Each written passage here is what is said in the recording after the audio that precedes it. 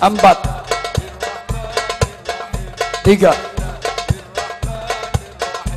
dua, satu.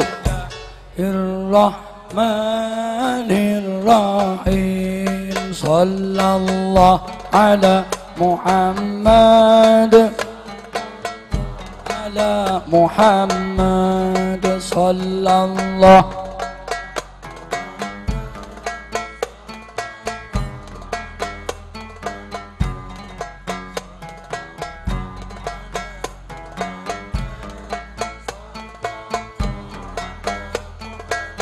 Lebih keras lagi.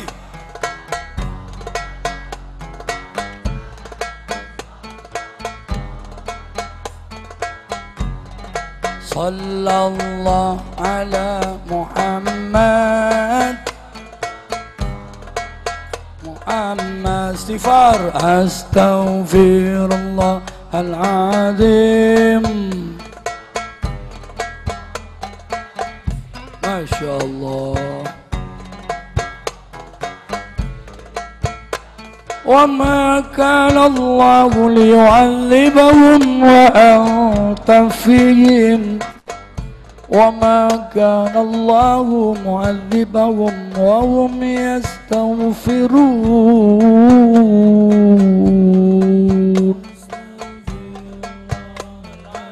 Terakhir yang kencang. Astagfirullah. Tangan diangkat yang tinggi, terukan saya. Ya Allah ya Karim. Ya Allah ya Karim. Ya Rahman ya Rahim. Ya Qawiyu ya Matin. Ya Ghaniyu ya Mughni. Terakhir ya Allah ya Karim. Ya Rahman ya Rahim. Ya Qawiyu ya Matin. Ya Ghaniyu ya Mughni guys.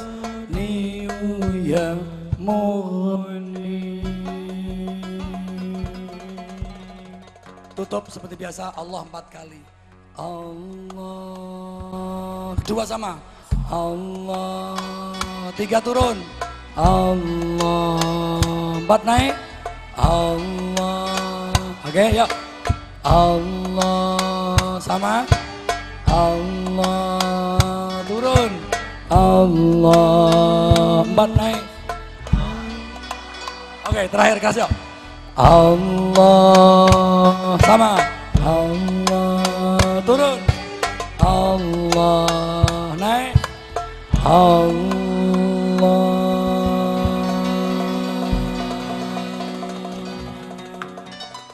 Manjing manjing manjing manjing.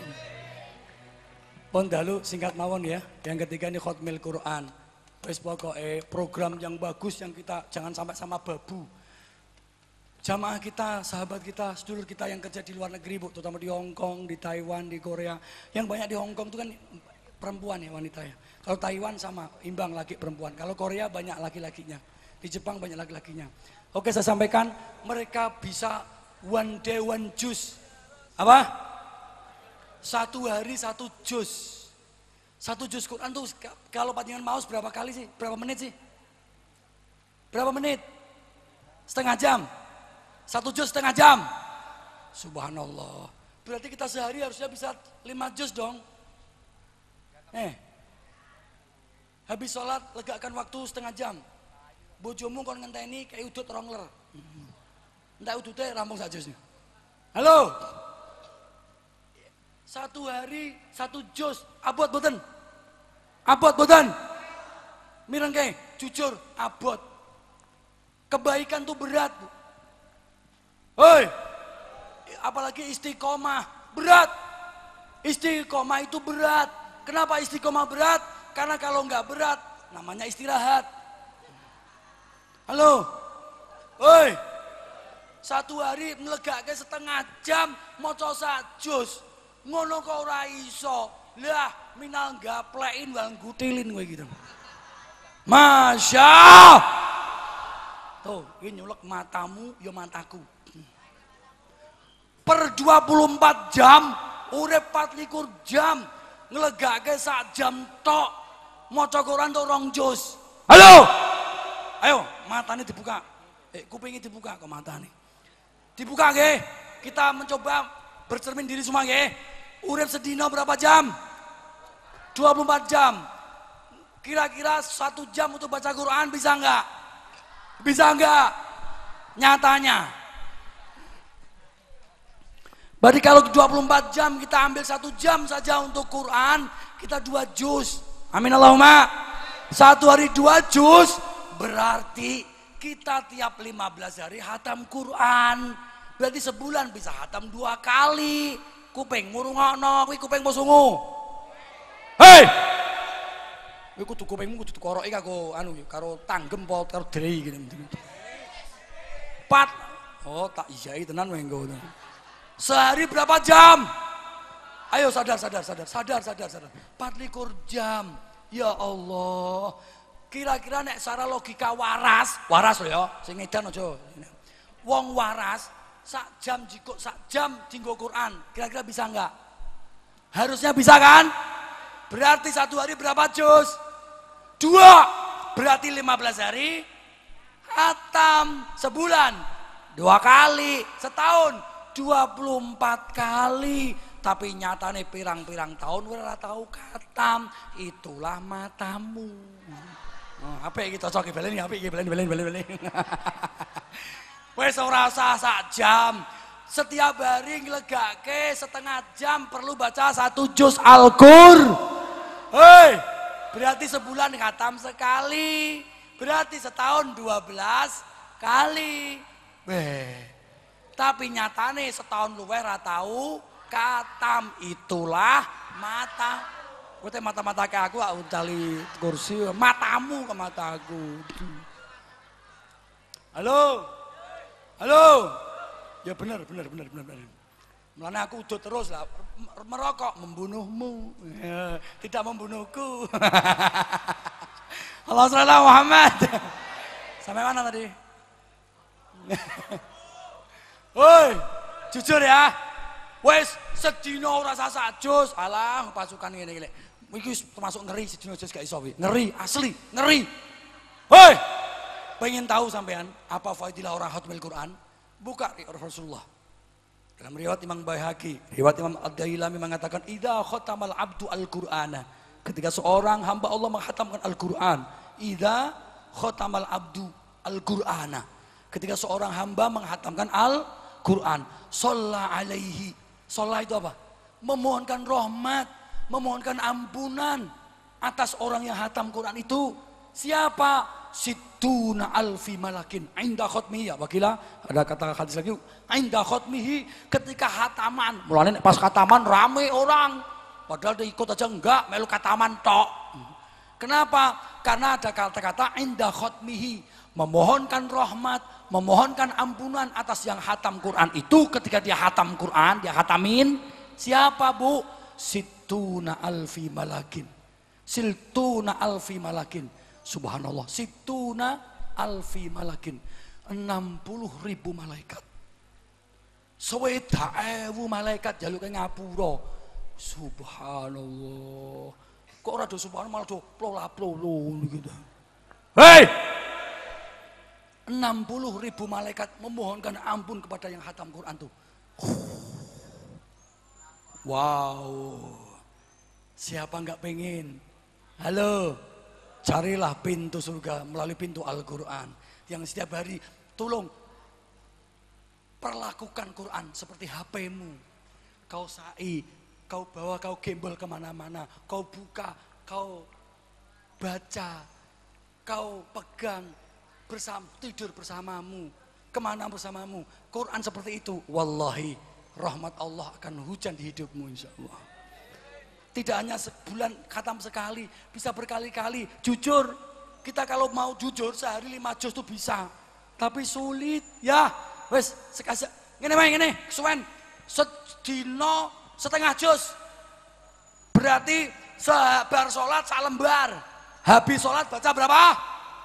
Tuh pengumuman, satu hari tolong habis sholat sempatkan satu lembar.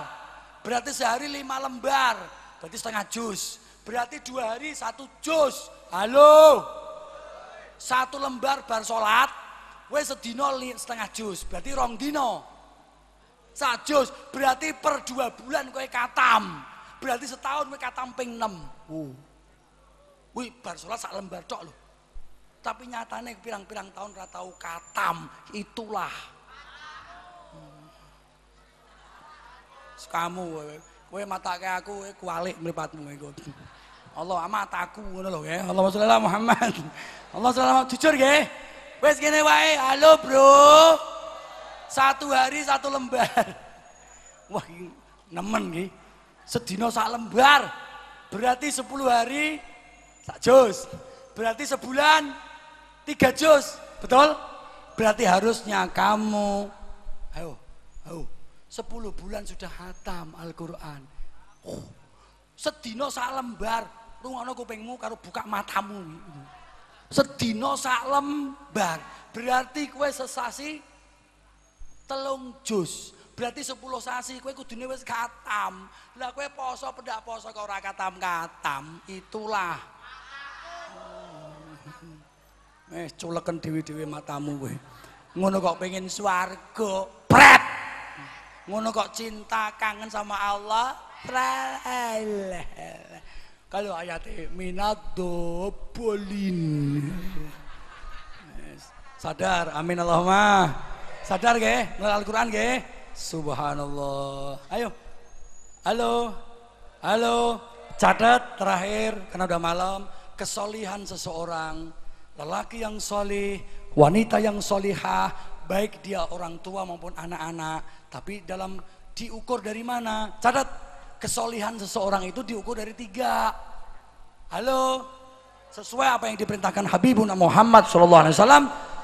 Alimu auladakum, ajari anak-anakmu satu bitilawatil Quran. Apa? Baca Quran demi Allah. Halo. Yang kedua bihubbi nabiyikum. Yang ketiga wa ahli baiti. Tanamkan di hatimu, di hati anakmu, satu cinta Quran, dua cinta Nabi, dua cinta keluarga Nabi. Keluarga ini bisa habaib, bisa duria, bisa para ulama. Karena ulama-ulama itu kiai-kiai, ustaz itu juga terima adik aku Rasul sebagai keluarga Rasulullah SAW. Jadi tanamkan di hatimu, di anak-anakmu, cinta Quran, cinta Rasulullah, dan cinta ulama. Insya Allah itulah kesolehan kita. Tepuk tangan luar biasa. Tapi nek di hatimu atau tidak ada cinta karo Quran, wah, tidak cinta Nabi, ah, anakmu malah senenge game, lah ya Allah, hancur, hancur, hancur, hancur, hancur. Tolong pesan saya, ge, handphone itu kasaif, al handphonemu kasaifi, gitu. handphonemu koyok pedang, koyok peso, lading. Nek kowe ora pinter gunakno, iso memotong-motong tubuhmu, ngetok-ngetok awakmu lan uripmu. Tapi nek kowe pinter justru membuat kamu jadi orang hebat, orang sukses, orang selamat dunia akhirat. Peso di tangan orang cerdas bisa untuk membeli wedus, membeli pitik, membeli manuk, membeli doro, gitu. Orang gue membeli jumadi, gitu. gitu. Orang cerdas dia untuk membeli sayur-sayuran, berambang, gitu. Tapi yang nggak cerdas, gue mateni wong, gue macam-macam, masya Allah. Handphone hati-hati, Handphone itu seperti pedang. Nek gak pinter memutus-mutus hubunganmu dengan keluarga, kowe bangga punya teman di WhatsApp ribuan, di Facebook ribuan, di Line ribuan, di Instagram ribuan, tapi mohon maaf, kowe ora kenal karo tonggo. Ora kenal karo sebelah. Bapak, ibu, suami, istri, anak, cucu, mantu kumpul. Wayahe mangan hasik HP semua. Sing putune ya dolanan, kene ya dolanan, dolanan kabeh. Mereka dekat tubuhnya tapi rasanya jauh yang jauh terasa dekat sampai mereka kaya wong edan bales semua SMS-mu. Halo. Ini akhir zaman. Tolong pesan saya nggih, gara-gara handphone wong pegatan oke. Banyak kan? Gara-gara handphone orang tukaran banyak. Gara-gara HP mohon maaf, kowe dora salat banyak. Gara-gara pun orang jauh dari Allah, jauh dari masjid, jauh dari Al-Qur'an banyak. Hati-hati, berarti warning, handphonemu sudah menjadi pedangmu dan sudah memotong-motong sebagian sisi dalam hidupmu. Hati-hati. Kaya aku gitu, orang cekelan HP. Hmm. Engkau HP Halo, saya nanti pegang HP. Kalau saya butuh sesuatu yang akan sampaikan pada Anda. Tadi saya janji tentang Afrika, ya, kampung Sakoti namanya. Sakoti nama kampung itu. Itu yang di mana hampir 99% penduduknya hafal Quran mulai umur 7 tahun. Tuh dengerin tuh. Halo. Halo. Subhanallah. Pun saya mau teman-teman sedaya 60 ribu malaikat tuh nggak sampean nek khataman. Enak sedino sak jos ya enteng tuh Bu. Berarti sasi wis katam sekali, setahun pengen rolas. Subhanallah. Belum terlambat. Ayo cintai Al-Qur'an, cintai Rasul, cintai ulama. Tepuk tangan itu semuanya. Yuk, supaya semangat, gak ngantuk yuk. Yuk, semuanya. Brok, brok, brok, brok.